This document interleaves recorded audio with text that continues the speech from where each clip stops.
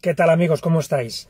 Hoy os quiero compartir una experiencia que tuve hace años con uno de mis clientes, de la cual estoy seguro que podemos sacar una gran enseñanza, una gran lección. De hecho, fue una de las grandes lecciones de humildad que yo he tenido en mi vida. Vais a ver qué, historia más interesante, amigos. Hace años me, contactó una persona para que le ayudara en los procesos de coaching y para mi sorpresa, cuando, cuando esta persona me contactó y me di cuenta eh, quién era, me quedé, me quedé fuera de juego, ¿no? Como decimos coloquialmente, porque no entendía que una persona de tantísimo éxito, sobre todo financiero, estuviera requiriendo mi, mi ayuda. Para que os hagáis una idea, sabéis que siempre por, por un tema de anonimato, de privacidad, eh, siempre mantengo la confidencialidad de mis clientes cuando comento este tipo de anécdotas, ¿no? Pero os voy a dar solo un dato para que veáis eh, qué tipo de éxito financiero, de éxito económico, de éxito empresarial tenía esta persona. Esta persona eh, es a día de hoy eh, dueño de una cadena de, del mundo de la, de la, restauración, de la hostelería, y para que veáis en, qué nivel económico está, os diré que solo uno de sus automóviles, de, de los varios que tiene, solo uno de sus automóviles eh, cuesta, tiene un valor de 200.000 dólares. Creo que esto os dará una idea del nivel económico en el que se encuentra esta persona, ¿no? Y como os decía, eh, yo no entendía que una persona de este nivel económico hubiera pedido mi, ayuda, además para, para, el plano empresarial, como era el caso. Entonces le pregunté, en la primera sesión le pregunté que me sentía muy honrado, pero que no entendía el motivo de que me pidiera ayuda en el nivel, en el umbral de éxito que estaba esta persona, ¿no? Y mirad amigos qué, qué lección de, humildad me dio, me dio esta persona.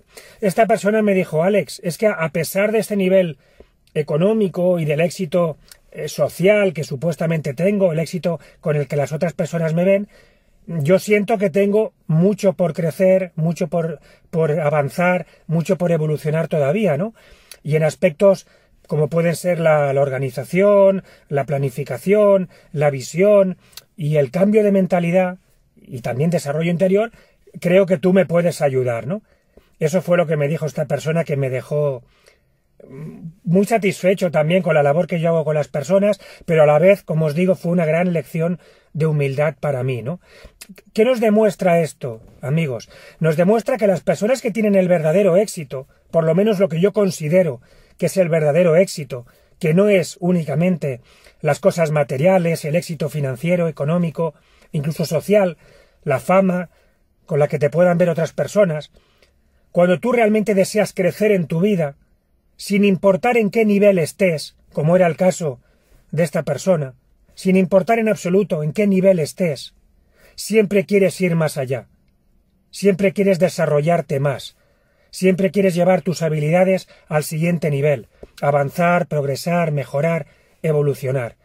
Y esto, esto es lo que hace que nuestra vida realmente valga la pena.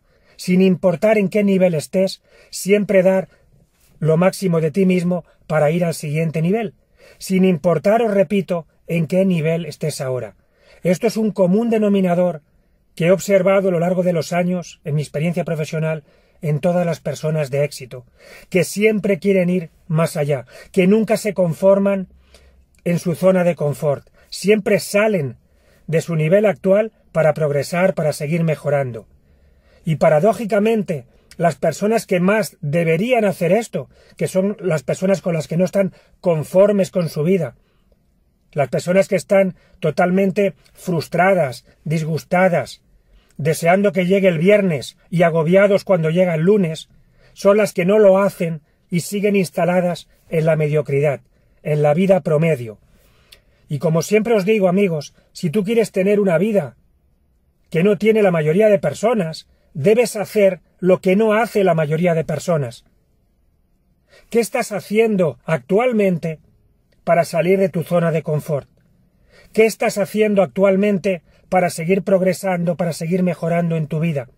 ¿Qué estás haciendo actualmente para llevar tu vida al siguiente nivel?